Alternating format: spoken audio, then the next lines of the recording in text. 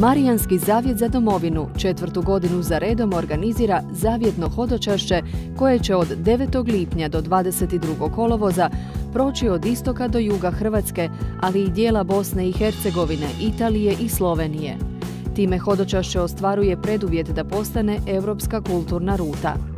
1700 km glavne i još 600 km priključnih ruta obuhvaća sva veća marijanska svetišta kao i bitna mjesta hrvatske povijesti.